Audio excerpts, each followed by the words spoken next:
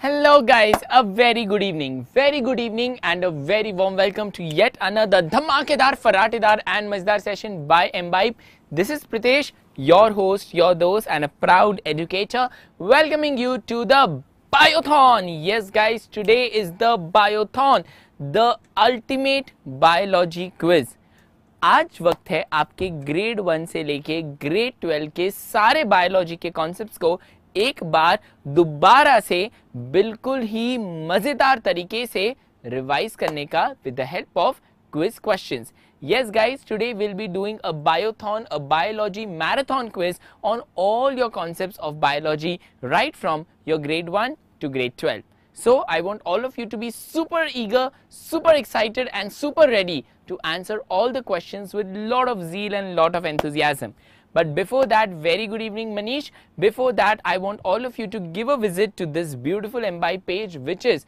the one-stop destination to every child's need. You know, whether if you are a student and if it is anything and everything that a student can ever ask for, whether it is quiz, whether it is study material, whether it is assignments, whether it is questions, whether it is NCRTs, whether it is reference books, whether it is questions from NCRT, solutions to NCRT questions, or whether it is having a test of your own choice anything and everything a student can ever ask for is right available on this amazing page. So make sure that you give it a visit. Apart from that, I also want you to connect with us through our Telegram channel by just scanning this QR code.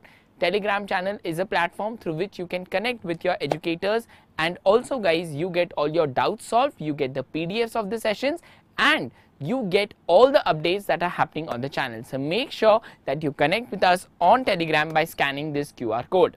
ठीक है चलो now I just uh, you know wait for a couple of more minutes and then we'll be starting the ultimate biothon the biology marathon quiz on all your concepts right from your grade 1 to grade 12 all your biology concepts will be revising will be understanding them with the help of amazing challenging quiz questions ठीक है चलो ready just give me a yes in the chat quickly give me a yes in the chat are you ready for the quiz come on quick quick quick very quick जल्दी से बताओ, क्या आप ready हो इस biothon में दौड़ने के लिए, इस बायोथॉन को जीतने के लिए? Come on come on come on very good that's amazing so without any further delay without any more you know waiting let's begin here is the first question here is a diagram showing the opening and closing of stomata the mechanism of opening and closing of stomata depends on the carbon dioxide concentration atmospheric oxygen, water content in the guard cells or atmospheric temperature. On what does the opening and the closing of stomata depend? What do you think is the answer? क्या stomata के आसपास का carbon dioxide concentration ये decide करता है या फिर oxygen कितना है वो डिसाइड करता है या फिर स्टोमेटा के जो गार्ड सेल्स हैं उनमें पानी कितना है वो डिसाइड करता है या फिर एटमॉस्फेयर का टेम्परेचर कितना है वो डिसाइड करता है स्टोमेटा का ओपनिंग और क्लोजिंग कौन सा फेनोमेना डिसाइड करता है? Think about it think about it hi Shivansh very good evening you say B is the answer what about Manish Manish आपको क्या लगता है? क्या है आंसर ए बी सी या D Shivan says B okay now Shivan says C Manish says A ठीक है. So C and A में कंफ्यूजन है. Let's see because Shivansh gave the correct, uh, you know, Shivansh gave the first answer. Let me see whether it is correct or not. Okay. So, Tana, you are absolutely right, Shivansh. Great one. The answer is correct. It is dependent on the water content in the guard cells. A large number of tiny pores called stomata are present in the epidermis. The opening and closing depends on the water in the guard cells. When the water is present in the guard cells they swell open and that causes opening of the stomata. And when the water is given out by the process of transpiration they become flaccid and the stomata closes. You can see this is a stomatal pore. This is a stomata cell present in the epidermis of the leaf. You can see it is opening and giving out water in the form of water vapor and this water comes through the guard cells. So the guard cells accumulate the water. When they are full they just open up the water is lost in the form of water vapor by the process of transpiration ठीक है so C was the correct answer good one Shivansh ठीक है Manish keep up your spirits let's see the next question the next question is what protects the ends of chromosomes what protects the ends of chromosomes is it chromatids is it chromosomes uh, sorry is it chromomeres is it secondary construction or is it telomeres What protects the ends of the chromosomes? Think and answer. A b c or d. What do you think? Chromatids chromomeres secondary construction or telomeres? Think think think. Come on. Easy peasy japanesey. Give it a thought. Okay Mani says it's d telomeres. What about shivansh? What about shivansh? What do you think is the answer chromatid chromomere secondary construction या telomeres Shivansh try करो बेटा. What do think okay you think it's option B now we have got Manish with option D and Shivansh with option B because Manish gave us first hi Dheeraj very good evening welcome to the session what do think is the answer A B C और D what do think protects the end of the chromosomes chromatids chromomere secondary construction या telomeres क्या लगता है आपको? क्या answer है? A B C या D we have got Manish जिसने बोला है D telomeres we have got Shivansh who has said B chromomeres what do you think Dheeraj we are just waiting for you come on quick quick quick Fevikwik 10 9, 8, 7, 6, 5, 4, 3, 2 and 1. Okay, so we have got 2 votes for chromomeres and 1 vote for telomeres. Let us go with the majority this time, right? And oopsie daisy, the answer is not correct. It is not chromomeres, Netik, even you have given B. The answer is telomeres. The answer is telomeres. Let us see how and why. So, the end of the chromosome is called a telomere. They are repetitive sequence of non-coding DNA and it protects the ends. They prevent the chromosomes from attaching with each other and they also protect the chromosome ends from nucleolytic degradation, unnecessary recombination and repair. Okay? No problem Shivansh, don't say sorry please. ठीक है so you can see these are the telomeres they are the last the ends of the chromosomes They prevent the chromosomes from pairing, they prevent the chromosomes from getting recombined or uh, you know it also pre prevents the chromosomes from any wear and tear. So they are basically like the protective parts of the chromosomes, they are present at the ends of the chromosome or the tip of the chromosome. Okay? Then moving on to the next question each cell of the human body has how many pairs of chromosomes. This we understood in detail in the previous classes also. So how many pairs of chromosomes are there in the human body is it 23 46 4 or innumerable in each and every cell of the human body how many pairs of chromosomes are there 23 pairs 46 pairs 4 pairs or innumerable pairs okay very good hi manju very good evening so Manish, Shivansh, Manju, all of them have given the answer as A23. Dheeraj आपको क्या लगता है क्या answer है A B C या D come on come on come on सोचो सोचो सोचो सोचो सोचो. How many pairs we are not talking about number we are talking about pairs hi Jeevit very good evening कैसे हो आप? मुझे जल्दी से बताओ कि each and every cell of the human body has how many pairs of chromosomes including Jeevit we are talking about pairs remember we are talking about pairs of chromosomes ठीक है? इसका जवाब होगा, ठीक है मैक्सिमम जनता जनार्दन ने बोला है 23 तो देखते हैं 23 करेक्ट है या नहीं। टाणा it is right Jeevit we are talking about the number yes you are right we are talking about the pairs not the number तो 23 पेयर्स यानी कि 46 in number each and every cell of the human body thank you so much Manju each and every cell of the human body human body के हर एक cell में 46 chromosomes होंगे, यानी कि 23 पेयर 23 जोड़े क्रोमोसोम्स के होंगे। Out of these 23 pairs 22 pairs are autosomes that is the body chromosomes, and one pair is the sex chromosome or allosome. In males it is X Y in females it is X X ठीक है? लेकिन अगर आप male हैं तो आपके sperm cell में सिर्फ़ 23 क्रोमोसोम्स होंगे 46 नहीं। 23 क्रोमोसोम्स होंगे 46 नहीं। और अगर आप एक फीमेल हैं तो आपके एक सेल में भी सिर्फ़ 23 होंगे 46 नहीं। तो 46 आपके हर एक बॉडी सेल में है, लेकिन स्पर्म सेल में उसका हाफ़ यानी कि 23 सिमिलरली अगर आप एक फीमेल हैं तो आपके पूरे बॉडी के हर एक सेल में 46 लेकिन आपके ओवम में सिर्फ़ 23 ठीक है? करेक्ट शिवांश। 22 प्लस एक्स और Y in male and 22 plus X in female ठीक है? तो इसी तरह से 23 पेयर्स अगला सवाल green house effect this is very interesting okay Shivansh male में इट विल बी एक्स और वाई ठीक है? अब green house effect is cause by green plants infrared rays UV rays और X rays what causes green house effect अब green house effect क्या है? पहले वो समझ लेते हैं.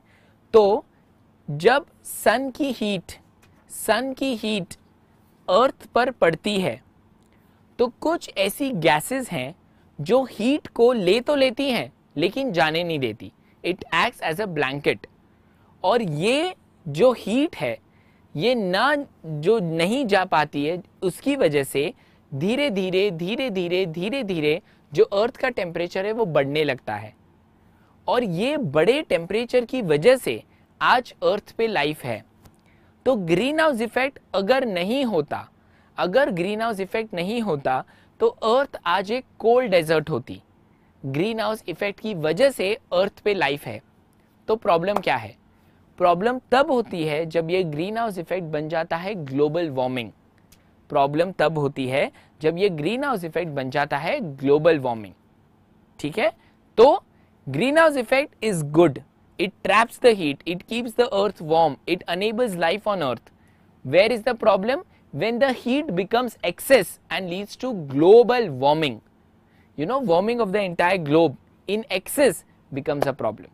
So all of you in majority are giving me answer as UV rays. Let us see. Okay? The answer is not UV rays. So all of you have given me UV rays as the answer. It is not. UV rays has something to do with ozone. The correct answer is infrared rays. Hi Achal, welcome to the session. The answer is infrared rays. Now, the greenhouse gas is greenhouse effect is caused by infrared rays. Water vapor and certain gases absorb the infrared radiation which is called as the greenhouse effect. It comes from materials on the earth's surface that have been heated by sunlight. Absorption of infrared heat, uh, the absorption of infrared heats the atmosphere to the common temperature we experience. So it is not UV rays. UV rays are something which are filtered by the ozone layer. Ozone is a part of our stratosphere. इसका जवाब होगा infrared rays ठीक है चलिए अब आगे बढ़ते हैं अगले सवाल की ओर अगला सवाल है what is the biological name of the Bengal tiger? Is it Panthera tigris tigris, Panthera tigris corbetti और Diceros bicornis okay Shivansh what did you not understand tell me what is the biological name of the Bengal tiger Panthera tigris tigris Panthera tigris corbetti और Diceros bicornis hi Mamta Reghu okay okay. Come on, quick, quick, quick, very quick. Cord uh, कौन सी cord Anchal Nathani welcome कौन से cord की बात कर रहे हो आप? Okay Shivansh it means that कि ये जो ग्रीन हाउस इफ़ेक्ट है ये ग्रीन हाउस इफ़ेक्ट में इंफ्रारेड रेज ट्रैप की जाती हैं जिनकी वजह से अर्थ हीटअप होती है। तो इसलिए आंसर था इंफ्रारेड रेज यूवी रेज नहीं एक्स रेज नहीं। ठीक है? ओके तो maximum of you are giving me the answer as B ठीक है? Let's see whether it is the correct answer और not Panthera tigris corbetti hello mister Rajneesh very good evening अच्छा mentee नहीं नहीं नहीं. आचल ये मेंटी नहीं है. यहाँ पे आपको मुझे आंसर चैट में देना है. It's not Menti you have to give me the answer in the chat ठीक है? So, oopsie it is not Panthera corbettis it is Panthera tigris tigris. That is the scientific name or the, you know, the zoological name of your Bengal tiger. Okay? So, Bengal tiger, which is also called as the Royal Bengal tiger, it is a beautiful animal, right? The zoological name is Panthera tigris tigris. They are one of the biggest wild cats existing today and it is also the national animal of India as well as Bangladesh. Can you guys tell me that how do you, yes, yes, yes, Mr. Rajesh, can you guys tell me that how does a national animal or a national bird or a national fruit or a national flower is selected? Why the national animal is not the elephant or why the national flower is not the rose or why the national fruit is not banana but mango? Can you guys tell me कि कैसे national fruit national flower national animal ये select किया जाता है can you guys tell me सोचो सोचो, मैं अपने हर सेशन में आपको यही बोलता हूँ, थोड़ा आउट ऑफ़ द बॉक्स सोचना शुरू करो, थोड़ा बियॉन्ड एनसीआरटी सोचना शुरू करो।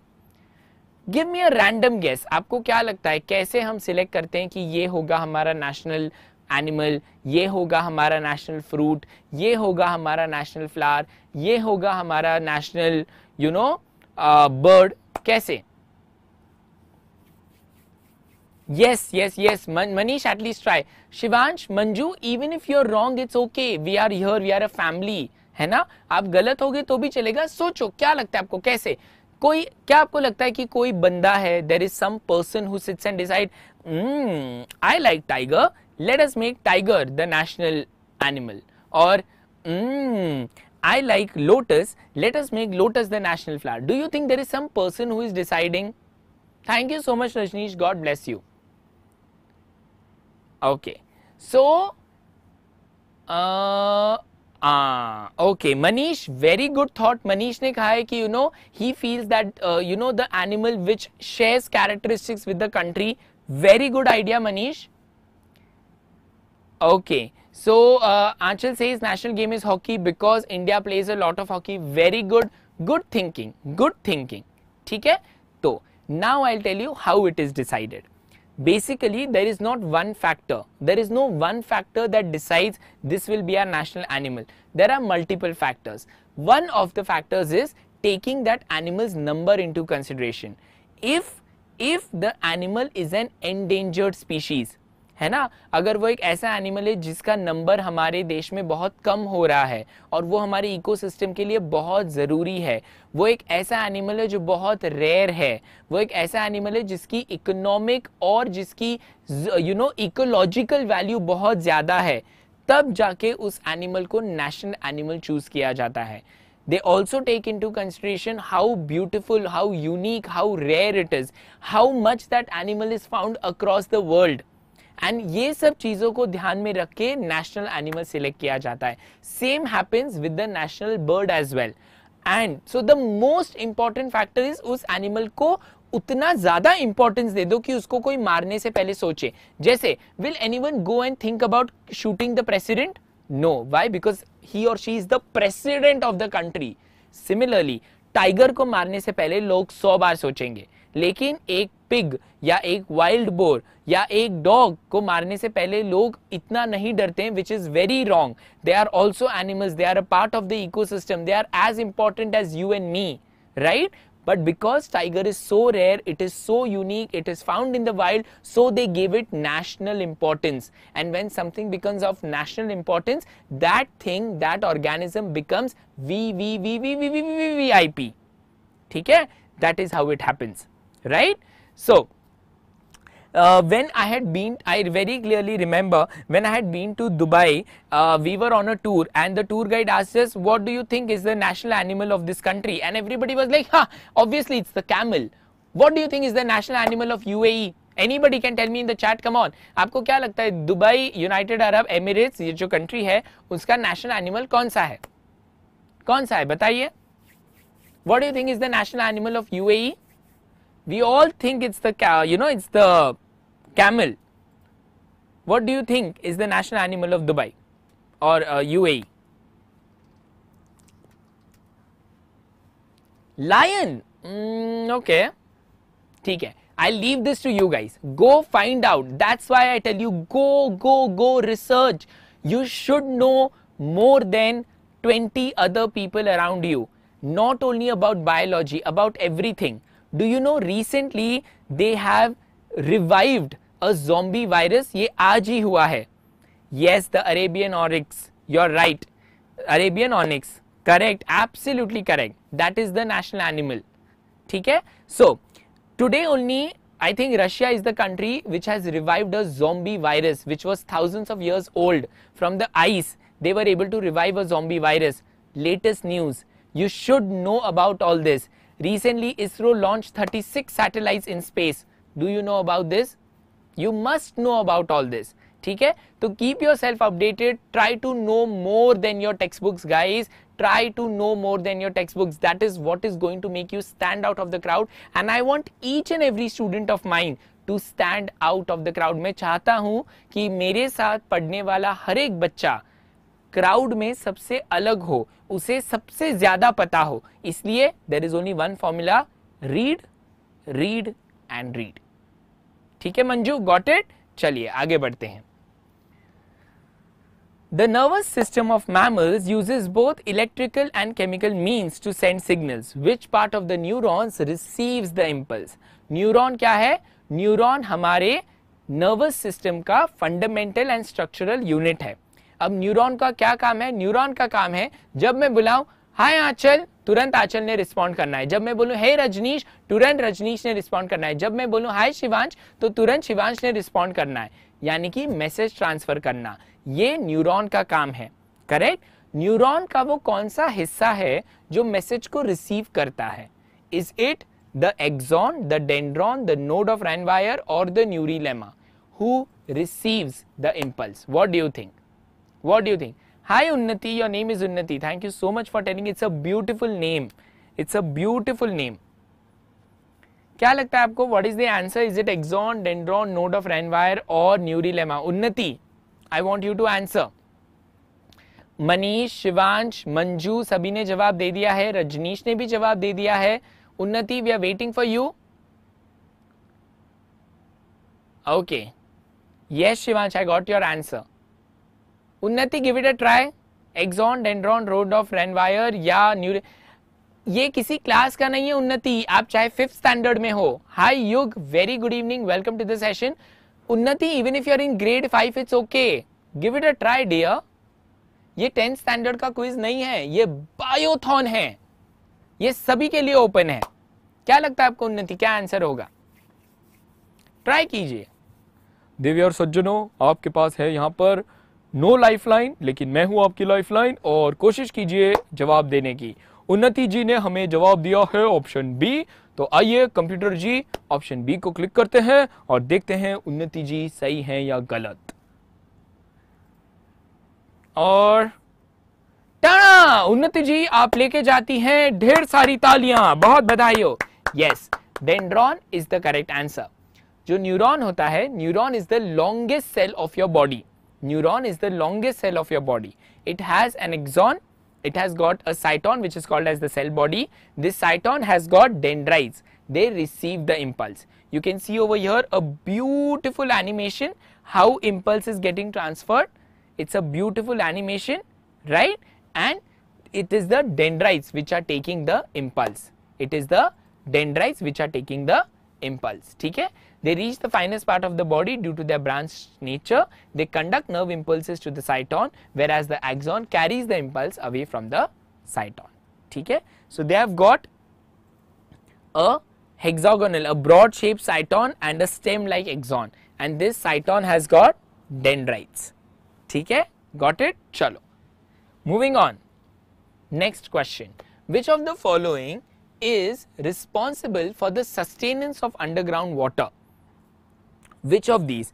Is it loss of vegetation, diversion of high water demanding crops, pollution from urban waste or afforestation? Which of these, which of these will keep the underground water in good amount? Hello Bishal, hello Bishal, you're from the last institute. That's amazing Bishal. Welcome, welcome to Imbibe. I hope you're enjoying my sessions and I hope you will give this video a big fat thumbs up and you will also share that Pritesh sir is right here live on Imbibe Achieve class 9 and 10 for all of you. I hope Bishal you will do that for me. Huh? Bishon Dhonobad, Bishal.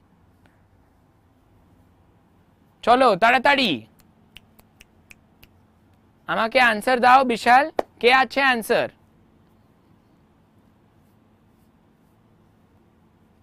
very good yes vishal i miss you all too that's why i'm telling you just call everybody here ठीक है Unnati Shivansh Manju has given the answer rajneesh has given the answer বিশাল বিশাল তুমিও answer দিয়েছিস ভীষণ ভালো Manish has given the answer. Let's see 5, 4, 3, 2 and 1. Let's see whether afforestation is the correct answer or not. Tana! Absolutely right. Okay? The answer to the question is afforestation. When you plant more trees, the tree roots will take the water and they will put it to the ground. This helps to number 1 increase or recharge the underground water. Number 2 reduce floods. Number three, it also helps to prevent soil erosion. So that is why plant trees and make your life healthier because trees give us life. Trees give us life. How do trees give us life? It is because trees carry out photosynthesis. Because of photosynthesis, they release oxygen. The same oxygen we breathe in, and that is why trees give us life. So, plant more trees, do afforestation, and increase the groundwater level.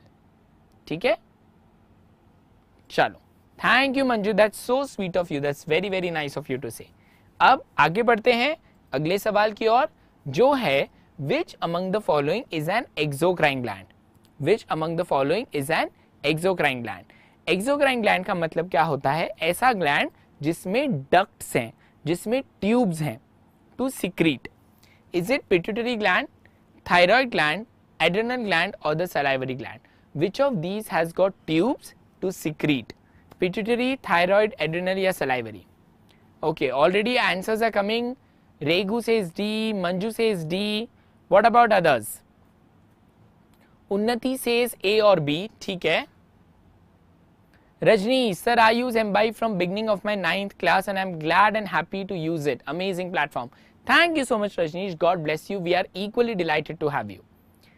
Shivan says A, Bishal says D 100%, Manish salivary that is D, uh, Manju says 10 standard question and let's see. So, all of you have given the answer. I'll still wait for 5 seconds. 5, 4, 3, 2 and 1. Let's see. The answer most of you are saying salivary. Let's see. Tada! You're absolutely right. It is the salivary gland. Exocrine glands are glands which have got ducts, which have got tubes to have their secretions. Your salivary gland, your sebaceous glands, which are the oil glands which secrete oil on your skin, sweat glands, your uh, apart from that, your tear glands, these all are exocrine glands. Even pancreas are called as both endocrine as well as exocrine. So pancreas also are endocrine as well as exocrine both. ठीक है चलो hello Indian army zone welcome to the session very good evening कैसे हैं आप ठीक है? चलो moving on to the question number nine very interesting very very interesting Narmada Bachao Andolan was carried out to prevent pollution of water construction of number of large dams on the river Narmada release of heavy metals in the river और development of eco ecotourism why was the Narmada Bachao Andolan started बहुत easy है तो general knowledge common sense है। चलिए, जल्दी जल्दी जल्दी think an answer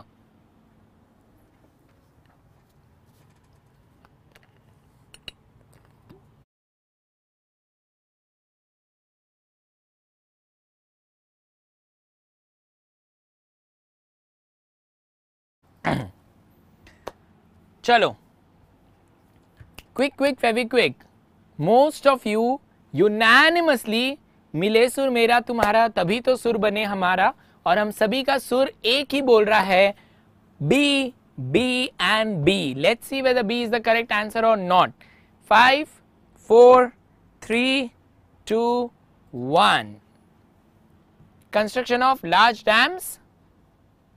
Absolutely right narmada bachao andolan was done to prevent the number of dams that you know they were building on the river Narmada. Building of dams has a lot of drawbacks. It disturbs the entire ecosystem. It causes huge displacement of people. People get unemployed, they lose their houses. Many times, whatever compensation they are promised, that compensation does not reach them. Apart from that, even if the compensation reaches, it is not enough.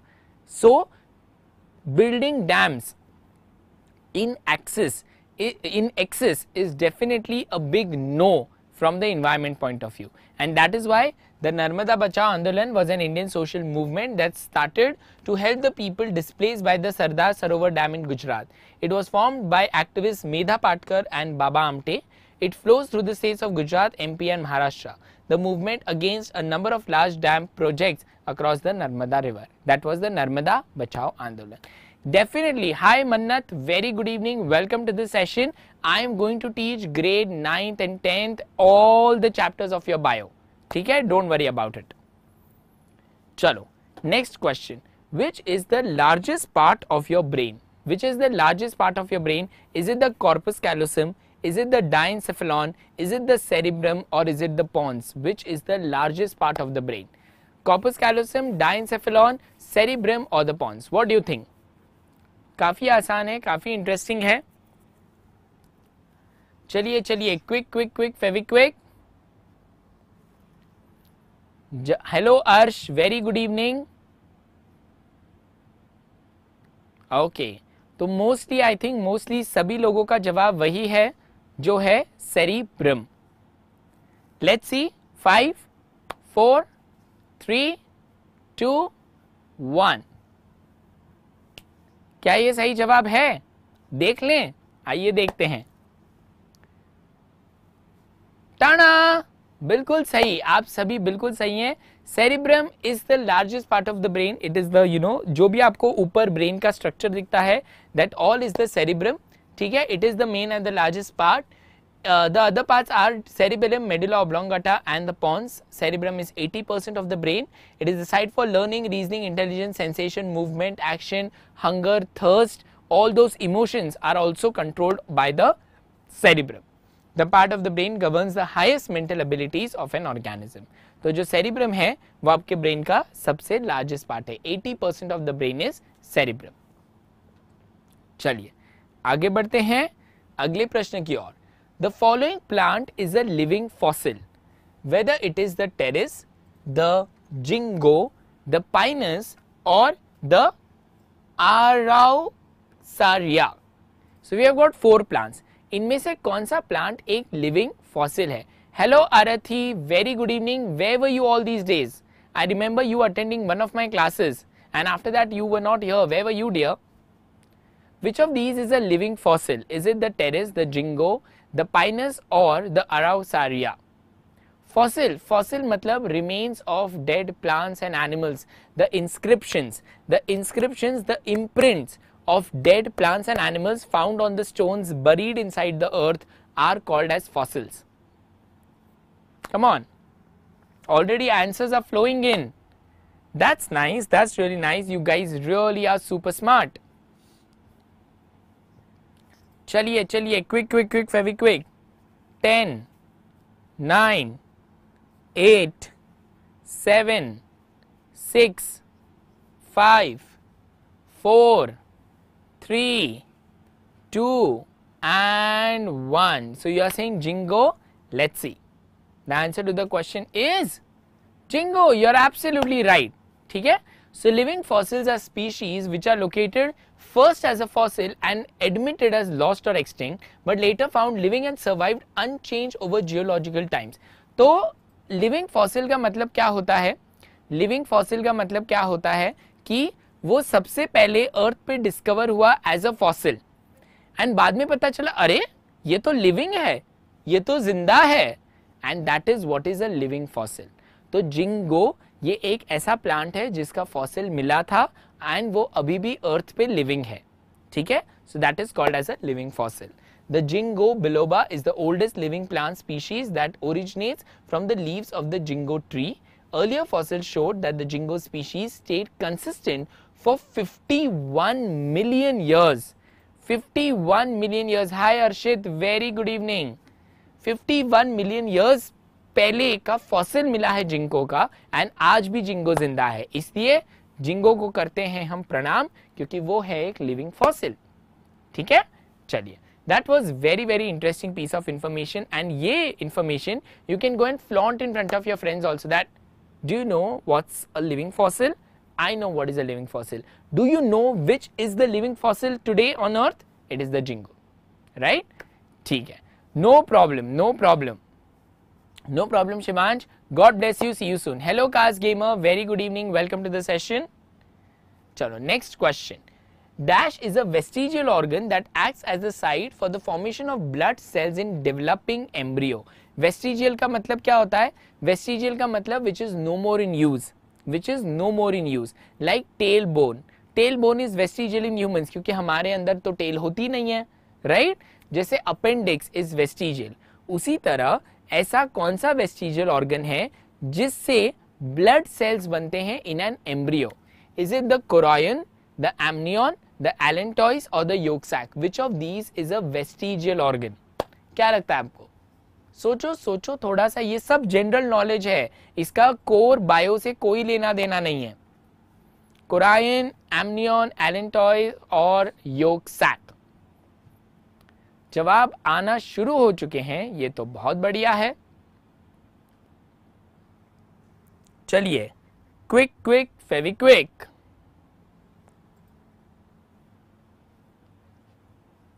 Very nice very nice very nice. Come on, ten, nine, eight, seven, six, five, four, three, two, and one. Most of you're saying yolk sac Let's see whether that's the correct answer. Tada! You're right. It is the yolk sac. Right? Chalo. So, yolk sac acts as the formation of blood cells in the developing embryo for up to 6 weeks. After 6 weeks, the liver forms the blood cells and the yolk sac starts shrinking. Thus, the yolk sac has long been considered as a vestigial organ and evolutionary remnant. However, it is proved that it plays a crucial role in organogenesis तो yolk sac vestigial है, उसका कोई काम नहीं है, लेकिन ये भी प्रूव हो चुका है कि एम्ब्रियो स्टेज में योग सैक से ही ब्लड सेल्स बनते हैं। ठीक है? And with this we come to the last question the number of autosomes in a normal human cell हमने देखे क्रोमोजोम्स कितने होते हैं। क्रोमोजोम्स में से ऑटोजोम्स का नंबर कितना है? Here we are not talking about pairs we are talking about the number. Manju is absolutely fine. Thank you so much for asking. God bless you. So what is the total number of autosomes? 45 44 46 or 48 autosomes. Come on. Quick quick very quick. Think and answer.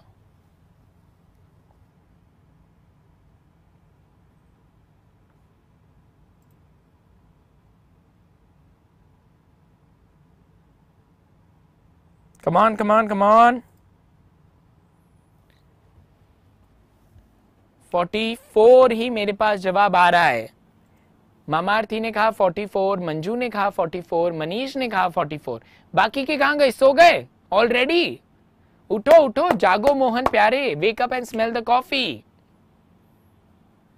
the answer to the question is 5 4 okay, our says 46 3 2 1 going with the majority of 44 let's see whether we are right or wrong Tana, absolutely we are right.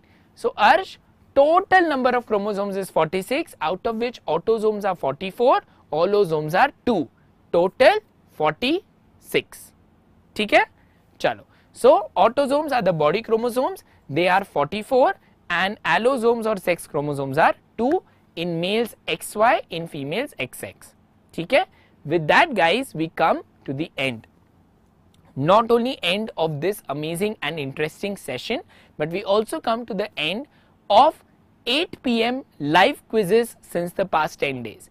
From 21st of November, every day I was taking a live quiz sharp at 8 o'clock, right? But next week onwards, my timing is going to be different. My classes are going to be different. We are going to learn your grade 9th and 10th, all the chapters with great zeal and enthusiasm with me. तो अगर आपको मेरा पढ़ाना पसंद आया है, आपको मेरे साथ पढ़ना भी उतना ही पसंद आएगा। So I be looking forward to see you in my classes do not forget to pay a visit to the Embibe page which is your one stop destination for anything and everything that is student can ever ask for do connect with us on Telegram as well by scanning the Q R code also guys do not forget to give this video a big fat thumbs up Also, share this video with your friends and school WhatsApp groups and subscribe to the channel because it's absolutely free of cost. It was great having all of you in the session today and until we meet next, this is Pritesh, your host, your dose and a proud educator from Imbibe signing off for now. Do take care of yourself, stay healthy, stay happy, stay blessed and until then, keep imbibing. Keep imbibing. We believe in you.